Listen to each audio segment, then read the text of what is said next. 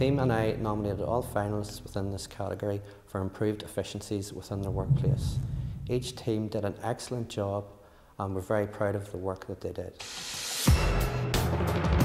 So we looked at the patient experience and we were able to prove through using the lean tools that we actually saved a patient being admitted to hospital for IV antibiotics, which costs £712 a day, compared to the breast care nursing team looking after the patient as an outpatient and costing just over £12 a day.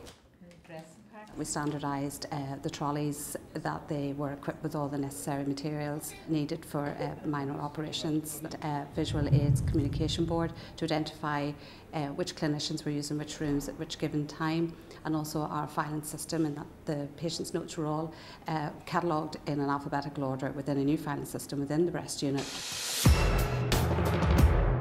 I standardised packs for patients so when patients received an individual diagnosis the nurses, especially the new nurses, um, were able to access this information all in the one place, so it saved time for them. I created a shared drive for the consultants and the nurses to access up-to-date policies and procedures, um, so that, again that they weren't ringing me and, and um, looking for the for the information; they can access it themselves.